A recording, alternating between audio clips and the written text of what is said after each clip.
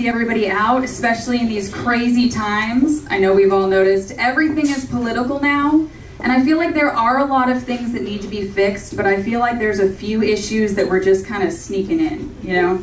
I saw this girl the other day with a tote bag that said, buy weed from women. I was like, is it the 70s? Like, it's 2019. Buy Oxy from trans youth. Okay. Be an ally, you know? It's a weird time though. I feel like I'm in a weird phase. I don't know if you guys can tell by looking at me, but I am currently transitioning from a white chick to a white lady.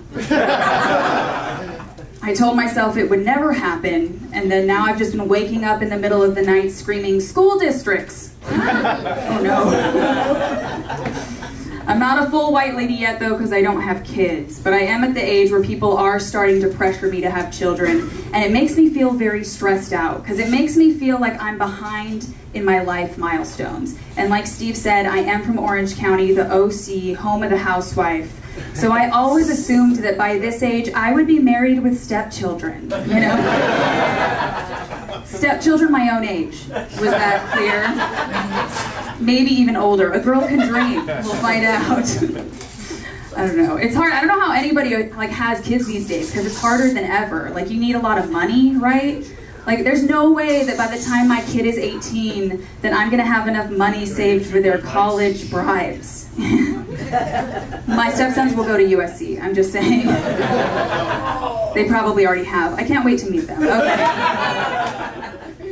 I don't know, it's very stressful. I feel like I'm afraid if I don't like, if I don't do what I want to before I have kids, then I'm gonna be a weird like stage mother or something, you know?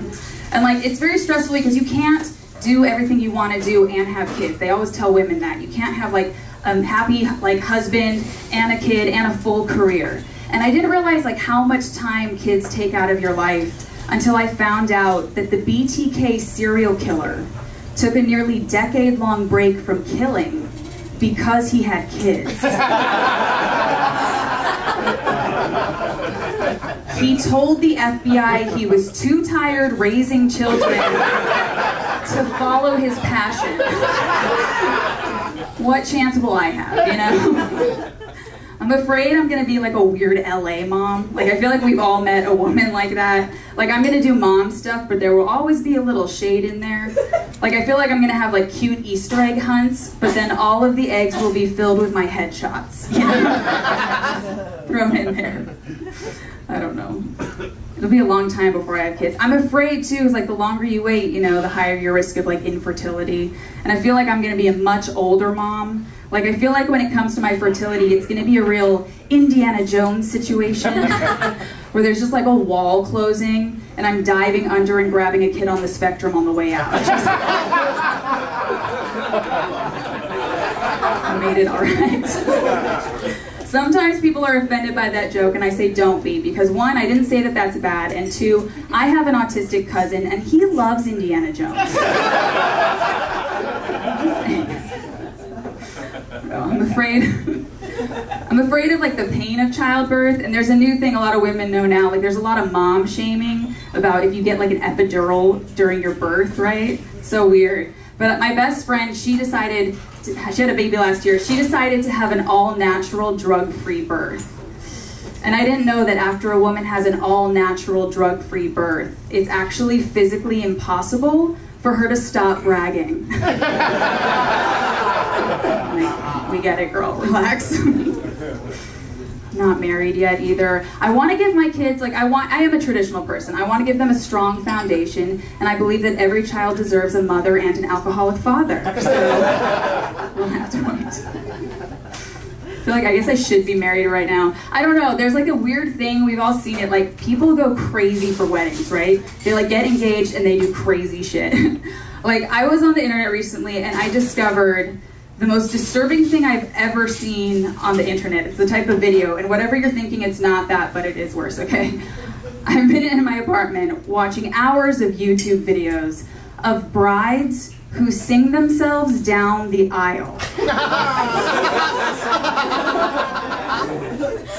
There are 42 pages of search results. I have watched them, I have ranked them, started a blog, podcast, gonna do a mini series. Uh, I'm on a journey with these women. oh my God.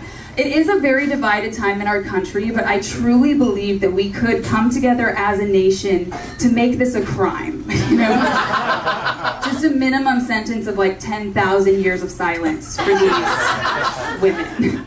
Now, when I say a bride who sings herself down the aisle, what race is she? White, yes. know. You guys have never seen these videos, okay, so let me break down everything you need to know about them. Number one, they're usually titled something like, Bride Surprises Groom by Singing Down the Aisle when what it should be is woman terrorizes innocent civilians who were forced to bring a gift for this occasion. These women are also usually singing an original composition. usually a song with a very creative title like Song for Tyler. Sometimes it's like, Jake forever in my heart. but it's always a nightmare. Uh, no, I should be nice. These women are talented, actually. Um, they are so talented that all of the video comments have been disabled. Pretty great. Now, my favorite video of all time, okay, it's shot in a split screen. And what you see in one frame is the groom, the Tyler, up at the altar, just smiling and unaware that this will not be the best day of his life. And in the opposite frame, you see the bride, and she walks out beautiful and radiant, holding her bouquet to the head of the aisle. And then in that split screen, you see her reach into her bouquet and slowly raise a microphone out of it. While in the opposite frame, Tyler slowly realizes what's about to happen. Now, mind you, these women are only walking about 20 feet, but they take the full 4 minutes and 32 seconds to get there, thank God. So she starts her like sloth walk and singing, and you can see poor Tyler is just like paralyzed by the sonar waves that are aggressively hitting him. And as she gets closer to him, you see he just wants to instinctively reach for her mic, rip it out of her hand, and end this. Unfortunately, as he goes to reach for the mic, she starts her Mariah Carey hand run. and like a ninja, she catches his hand midair and bends his fingers back has to take a knee. And as she hits that final note, you see the light entirely drained from his eyes. and that's the moment I come. Thank you so much. There are also grooms that do this. Um, they're usually black and they're usually amazing. So.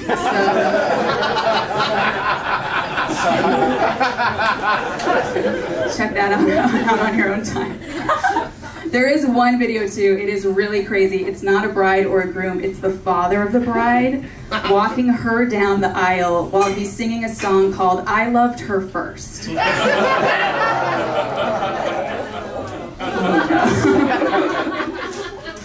I can't imagine like getting married because I cannot imagine that like father of the bride like situation. Because my dad is a person who is uh, racist and believes in aliens. So he spends a lot of time saying, be careful, they're out there. when, I when I turned 18, my dad told me he was so happy I was an adult because he could finally tell me the truth about our galaxy. and in that moment, I realized the only thing I will inherit from this man is VHS tapes.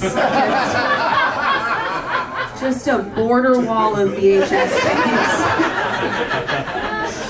tapes. he then told me with a straight face, Katy, did you also know that white people carry alien DNA? And I was like, I don't know how to tell you, Dad. That's the blackest thing you've ever seen. you guys have been great. I've been Katy French. Thank you so much.